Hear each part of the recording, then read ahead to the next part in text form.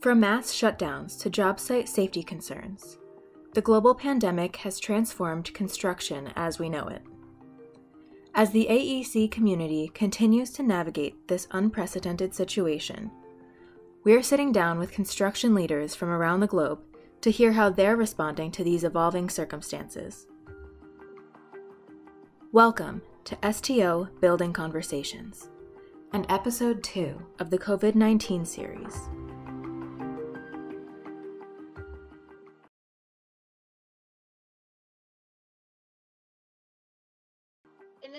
Episode, we're chatting with Paul Drecksel, COO, and Jeff Beecher, Executive Vice President of Operations at Layton Construction, to discuss the pandemic's impact on the southern and western construction markets and how Layton continues to build safely. Uh, thanks for joining us today, and um, looking forward to this conversation. So let's get started. Most of Layton's job sites have remained open since the beginning of the COVID outbreak. What has it been like watching cities across the country shut down construction completely? Uh, I'll take that one, Amy. This is Paul, and thanks for having us today, by the way. No matter where you live in the world, the pandemic has been a totally unprecedented event. So none of us have ever seen anything like this. Um, and it's been a real learning experience. But as we watch it unfold in the United States, there really are two different stories that are vastly different experiences. We we see television, um, other media showing us what's happening in New York City and the tri-state area. And we also talk to our colleagues at STO regularly. And what you all are experiencing is exponentially worse than what's happened to us. So, first of all, our hearts go out to all of our STO colleagues, anyone who has been ill, had a family member be ill or worse, and all the folks who've just been totally shut down and unable to go to work and do what they do every day and have any semblance of normalcy in their life. So our hearts go out to you. Um, fortunately for us, in our markets, it's just been a much more minor event. While while the disease is still just as dangerous, its um, prevalence and its impact on our day-to-day life has has been much less. And so, just for instance, March of this year was the highest revenue top line revenue month our company had ever had, and April was even higher. And so it gives you a sense that very few of our jobs have been shut down by government order. We have had a few clients make the decision to, to slow their construction programs down, but, but obviously not in a major way, given those sorts of, of numbers. So again, you know, as we we realize how fortunate we are because it just happens to be where we're at, but our thoughts and prayers definitely go out to each of you who are are suffering in a much greater way than we've seen. Thanks, Paul, for that. Um, and the more that we learn about the virus, it seems the more strict social distancing regulations have become, at least definitely here um, on the East Coast.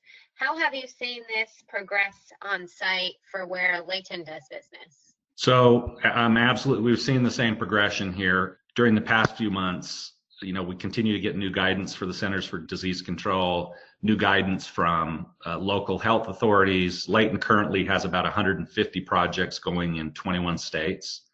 And so we're obviously having to monitor a lot of input from local folks about what's really happening on the ground, in addition to what the national experts are telling us is uh, important. Uh, we've spent a ton of time reading what the latest guidance is, trying to understand how to operate safely. You know, one of the things that attracted Layton to STO is that at STO, safety is priority number one. And that's always been a mantra at Layton. You know, we're, we're going to send everybody home every evening in the same condition they arrived at the job site. And COVID just adds this new layer of risk that none of us had any experience with, unlike the normal risks on construction sites that we've all had decades of experience with. Yeah, so as as things have changed, we've we've had to change too. And our culture has always been one of early adopters. So I think it's it's been realized on the projects that as we need to, we need to adopt different protocols. For instance, you know, in, in the last little while, we've adopted masks on all of our projects. Every individual wears a mask or some kind of face covering, and there's really been no pushback at all on that. Uh, workers realize that this is another step in making sure that we're keeping a safe job site, and they're they're individually keeping safe. And so that's been an easy adoption. Um, we ask five questions of every worker every day about risk factors surrounding COVID-19. And they readily answer those questions, realizing that by answering those questions, we're keeping the high risk workers off the job site. So overall, as things have changed, the new protocols are put in place as a way to keep the jobs safe and workers relish that and, and adopt accordingly. Thanks, Jeff. Um, yeah, I mean, safety is paramount, obviously, across the organization. So, in addition to the masks that you've mentioned and uh, questionnaires for screening, what are some of the measurements in addition to that that Layton has put in place to, you know, enforce social distancing and, and general safety on site? At the outset of, of this event, we were very fortunate in the sense we had a national client who has distribution centers that really is became even more critical than it already was in terms of things like grocery deliveries to folks uh, and and prescription medicine deliveries to folks and other necessities of life that as things started to shut down it became clear they needed to be open and they needed more capacity. And so they were one industry that really ramped up what they were doing. And back i remember the day it was march 18th because it was the day utah had a 5.7 magnitude earthquake early in the morning which was on top of the pandemic hitting us, it was a very unnerving day, to say the least. And um, later that day, we had a, a, an eight-hour phone call with this client, with another respected, uh, you know, national GCCM, and with some experts, you know, who really understood infectious disease and measures that needed to be taken. And we we came up with a protocol because this client, like us, really views safety as priority number one. And so what they the thinking was we've got to keep this business going. We need to expand this business because it's really essential to the nation, but we want to do it in a safe way. We don't want to get people sick as we build these things. And so, what are all the protocols we can put in place? And this is really early when people really haven't thought through these in great detail. And we came up with, after you know eight hours of pounding this thing out, a really good set of protocol you could put in place that would keep people safe. And then couple that with our association with STO, where we were on the phone regularly as BU leaders talking about the same topics, sharing what we'd learned. And that really got, got us off to a good start. And, and Jeff, you may want to talk about this particular steps that we've ultimately taken on jobs. Well, as Paul said, we realized early on that communication was paramount and making sure our, our people all understood what the protocols were. So not only do we have the, the business unit leader call each week to talk through these instances, uh, for a while at the start of the pandemic, we were having a call every day with our leaders in our individual business units. And then they were also having a call with their project teams. So there was communication up and down, back and forth. Some of the measures that were put in place during that time. Uh, first off, to communicate these protocols, we made sure that there was clear sight signage throughout the project in both English and Spanish um, we divided up the trade partners amongst our leaders and had individual calls with each one of those trade partners, making sure they were bought into the protocols, making sure that they reinforced with their people from their company level the things that we were trying to implement. We set up hand washing stations that weren't there before, uh, making sure that there were social distancing between the hand washing stations and the porta johns, uh, making sure that people had access to hand sanitizer, uh, both in the on the job site, in the in the trailers, and then in the offices. Proper social distancing had to be enforced, and and this included in lunch and break areas and in areas where we would typically assemble. Um, and this this enforcement had to take place by making sure that our project teams were on the job sites. Uh, we've always maintained that the management of the project can't be done from the, the trailer. We have to be out and amongst the people, and and that was reinforced over and over again with our folks. Um, another step we took was make sure that our in-person meetings were uh, drastically reduced to the extent possible. The only times we would have an in-person meeting was if we could have it in a location where we would have proper distancing. And so, for instance, a room that would hold, uh, you know, 50 people before, um, now we'd have the maximum amount that was posted for that for that room would be maybe 10 or less, depending on uh, on the configuration of the room. Right. Uh, we made sure that people took the personal things that they have home at night, so they were in their control all the time. Um, a, a pre-task plan has always been important, but another protocol that we put in place is when we review pre-task plans, we make sure that the individual jobs can be done in a way that's uh, safe from a social distancing aspect. And if it couldn't be done, then we talk through the proper PPE to do those tasks, or we take the task out of the rotation and do it in a later time. Uh, and then finally, I know these are, this is a long list and we'll probably not cover all of them, but we stepped up the cleaning that was taking place on job sites and also put uh, cleaning companies on notice in case we had to come in and do extra disinfection. All in all, um, through doing these things, and like you said, it changed as time went on, and, and as we needed to adopt new ones, we adopted new protocol. Right, absolutely. Thank you for all that. I mean, it is a lot of, you know, additional things to be mindful of, but it sounds like people are together on it and, and willing and able to do so to provide safety. So that's great. So switching gears a little bit, I mean, you've talked about uh, trade partners and communication, which is of course strengthening those relationships as well. But how have you seen the COVID-19 pandemic affect the supply chain in your markets? And, and if you have seen an impact, how do you see this impacting project schedules and costs? So we've been very fortunate in that we haven't encountered anything that's been insurmountable. We've seen some areas where some long lead items from overseas have been delayed, and we've been able to either change that material or keep it off the critical path. It, it will certainly change as time goes on. And one of the things that we may talk about later is, is just the fact that owners may look at overseas materials as being more risky and not only the risk in getting them in time, but also the increased cost because of, of those risks. The other thing that we've seen is tasks that have been outsourced to companies outside of the US. For instance, steel detailing that might be done in another country. Those have also been impacted because of their ability to work. But overall, in, in our business, we haven't seen supply chain issues that we haven't been able to find another way around. And I'll just add one thought there. In my discussions with the other STO um, leaders of companies, that the analogy I've used for them as they've asked us about this is, you know, we we never were shut down, and so we're in line at the grocery store. You know, just the normal deal.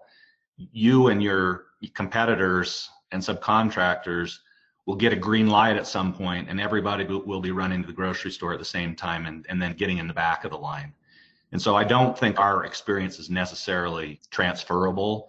You know, I don't know how that latter situation will go, but it will be different. And so again, we've just been fortunate. We're going just as normal. And so we've got all our orders in the queue. You know, things are happening in a natural fashion, and, and that's made it easier for us.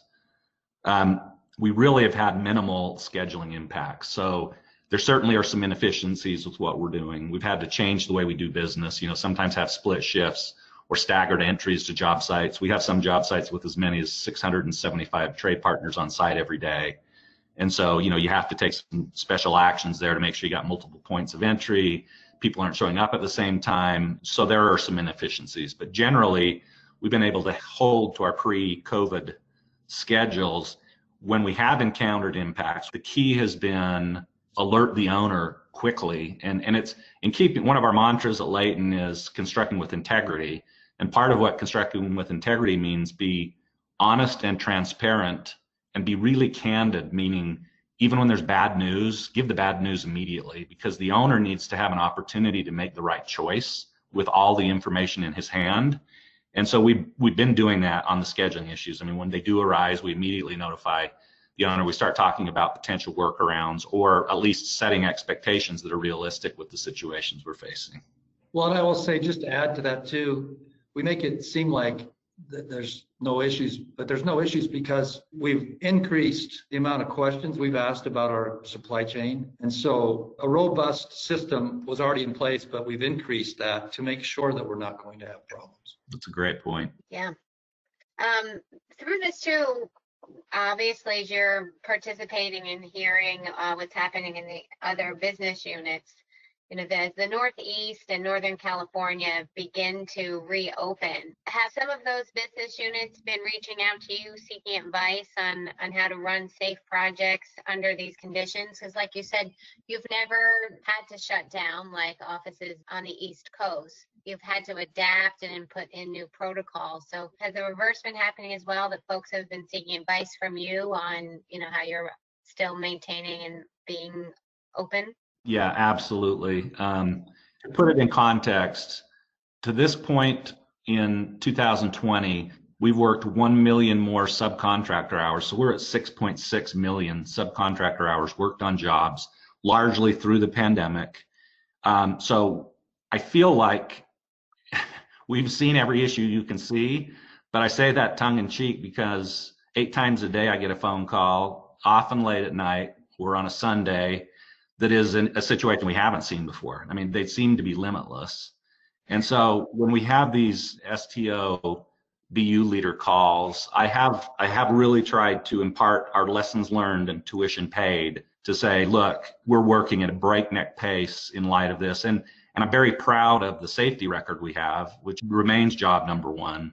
And it's not possible without our, our teams executing our protocols, subcontractors buying in, and owners buying in. You couldn't do it without all those things. And I could not be more pleased with the subcontractor contribution, the owner's buy into safety, and then our team's ability to execute and be nimble, which you have to be in this situation because it changes every week. You know, the guidance changes and you have to be listening, learning, studying, and reacting. And so I've been trying to provide that information every time we come up with a new protocol, send it along. And, and it's been in the reverse also. STO has put some committees together that are doing these same things. They've been providing that information to us and it's been very helpful. Great. So another part of the operation here, which we haven't spoken so much about, is the office staff. As we understand it, Layton's office staff have been working from home for the last few weeks. And talk about that transition. Was it difficult to do? What are the stats of reopening the office? If you could talk about that, would be great. Yeah, so we closed the offices about the middle of March. In fact, it was it was just right after the earthquake that Paul talked about. And at that point, we asked people to work from home. And anytime you know you change the the routine, that's going to be a challenge uh, because people are creatures of habit and we're a relationship business. And so suddenly taking that away and, and having everybody work at home is going to present some challenges. And, and we've seen that. But we have a lot of folks that travel for national business. And so our systems have been set up over the years to handle the ability to be mobile all of our people have laptops. Most of our systems are cloud based. In fact, all of our systems are cloud based. So the ability for us to work remotely, it was very easy from the standpoint of infrastructure. But when you take an estimator out of his area of work and put him in a in his bedroom at home with his kids in the next room, um, that presents some challenges. And and yet we've still been able to maintain a, a high productivity uh, despite those uh, working environments being different. And I think one of the keys to just doing that is is increasing the level of communication between our work groups. Normally, you'd you'd walk by somebody and have a conversation, and that that is not there anymore. And so you have to make sure you call those individuals. And and one of the things we've seen is um, it's a more formal kind of situation where you have to set up a meeting sometimes to talk to three people, or you you're on the call with someone and you say, well, let's add this guy and let's add that person. And pretty soon you've got a conference call going. And, and so those things didn't take place as much before. Checking in with people and just making sure personally they're okay and their situation's all right. We've increased that to make sure that there's a personal touch to it. And obviously, the office is open, but we're asking people to work at home as much as possible still. And I'm sure that will change over time as we phase into different areas of risk. Right. Um, Jeff mentioned previously that his COVID related issue phone calls that were daily at the beginning and now become you know less frequent, but they're still on a regular basis. So I formed a COVID task force early on, and it's comprised of every leader of every division in our company and anyone who runs a department. And we talk weekly and one of the questions I always ask is how is the working from home scenario going? How is productivity? How is morale? And generally, the reports have been really very favorable in terms of people remaining productive. Um, there are certain tasks we've learned you must come into the office for. You know, if you're submitting a proposal and there's a deadline, you can get yourself in trouble if you're trying to do that from home. So that's one area we've asked people to come in on the day that they're doing that. But generally it's been good. We we have learned though that especially with younger and less experienced employees who need a lot of mentoring and guidance, you got to be checking in constantly. And then the other comment I get is don't let people be isolated and feeling like they're on an island. And so just the communication from a human being perspective, genuine care and concernings just to see how people are doing is absolutely critical. Absolutely. Well, and we do a lot of uh, proposal and presentations and before this, all, you know, it was a, it would be a personal interview. You'd have a team of individuals interview in front of a, a team of um, owners. And we've continued that, but it's all been video calls. And so that's taken on a, on a whole different perspective of getting prepared for that and then having the actual call and doing it in a professional manner. And we've had great success at that, but it hasn't been without a lot of effort. Right. Um, as I understand it, that uh, preparation and additional steps that you've gone through has been successful because there have been some really great wins that have come through that. And um, I know on the, the East Coast, uh, also doing some virtual presentations, and you know, it is a different way for delivery and trying to be able to engage and present, you know, our best and brightest for an opportunity. So it's it's another Absolutely. challenge in a different um, avenue. Absolutely. So, I guess a little bit broader now. We've talked about a lot of um, different topics. Is there something that's been the most challenging aspect of operating during this time? Obviously, there's a lot of them, but is there any one or two things that really comes to the forefront of the, the greatest challenges for you all? You know, you have to assess it in context. And I would say at the highest level, the, the biggest challenge has been, as I mentioned previously, we're working at a record high, you know, the Layton is almost 70 years old, and we are at record high volumes of work all over the United States. And that would be trying under the best of circumstances, right? You'd be stretched to the limit. Now, pile dealing with COVID 19 and really taking seriously the idea safety is priority number one, and it comes before anything else. And then feeling an obligation that you cannot let someone get sick or worse because you failed to do something you should have done. And so, you know, you pile all those together, and I mean, honestly, at, times it has felt backbreaking because it's it's just I mean as as Bob Mullen said to me once, there's just no playbook for this, right? And you read what the experts say and it does change, you know. So sometimes you wonder, does anybody really know what it is we should be doing? But having said all that, if you read, if you study, if you plan, uh, we've had really good results. Uh, you know, our, you know, generally when we've done mass testing on jobs, we are always at or below community transmission level. And, and you really you really can't do better than community transmission. So if the local infection rate based on tests is 10%, you're going to have 10% of the people on your job who are infected because they're spending 16 hours a day away from the job. And so I remind our people of that all the time and say, look, we're, we've got a bunch of awesome protocols in place to try to keep high risk individuals off the job. But the other thing we've seen in our testing is the majority of folks who have it are asymptomatic and remain asymptomatic.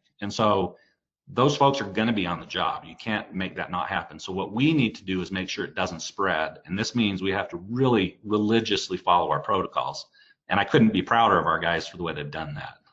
You know, Amy, just to add on to some of the challenges that we have through this whole event to continue to manage the high volumes, we've continued to hire. And it's a whole new thing to hire and orient people in a situation where you really can't have a lot of contact we have a culture at Layton, we call it the Layton Way. Our culture is very family focused and personal. And it's very difficult to teach that culture when you don't have a lot of interaction. And so that's one of the things that we've experienced that's been difficult. Um, it's been a challenge. I would just add one last thing to this topic, and it just is, uh, you know, we remind ourselves all the time we can't, you know, we, we've had great success in maintaining safety, but we can't let our guard down because we're not out of the woods.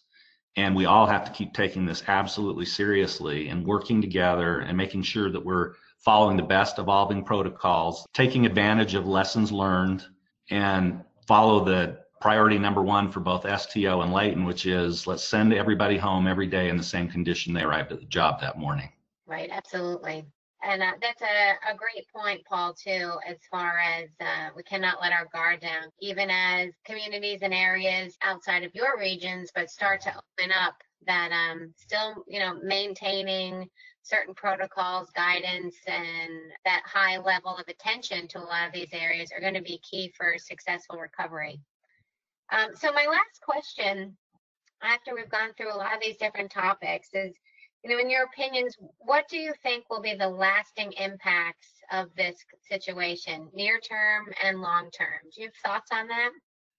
Yeah, you know, after you've been in the construction industry for decades, you start to think you've seen it all, you know, that you wouldn't be surprised. This is so unprecedented that it really requires a lot of creativity and innovation and careful business management to chart the waters that we're in now. Um, some of the things that we see, we talked about it before, ordering materials from overseas, it might be more hurdle than it's worth. And so that'll be something that we'll have to talk with owners and, and designers about.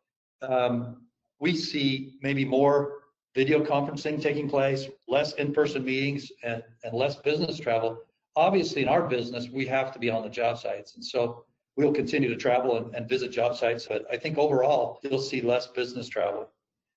Um, will the density of office space be lowered uh, because of this? And, and certainly the way that people work in an office will change. Uh, and, and similarly, job sites, um, we typically have a huddle every morning with the, with the entire job site, which we've changed, but that will likely be lasting.